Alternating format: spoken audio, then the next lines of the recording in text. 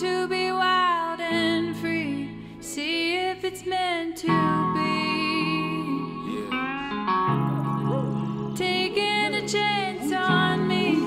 I've gotta bleed these dreams, even if it means I lose everything.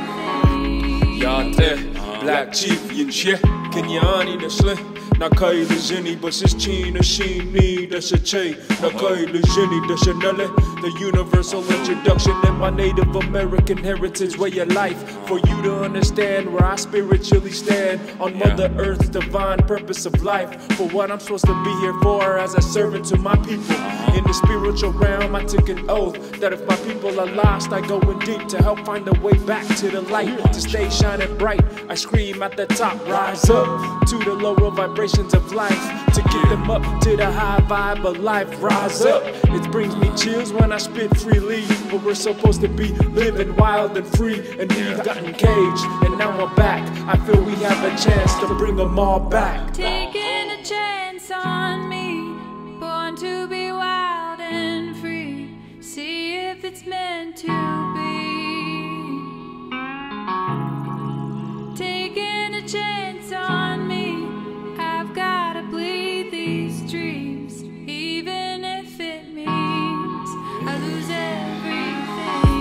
There's a message sent from the universe projected out through me. Each and every person is the perfect divine idea in God's image. Uh-huh. Billions of gods mimic. If you're searching for the light, all you need to do is look within. I am that I am is the beginning of creation, the beginning of life filled with strength, courage, and will. I press my hands together and pray to the infinite intelligence to rain down the fifth dimension of knowledge and wisdom for the people.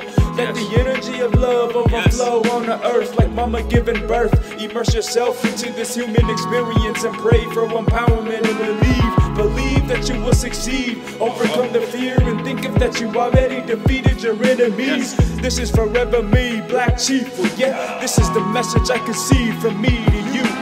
Rise up. Taking a chance on me, born to be wild and free. See if it's meant to.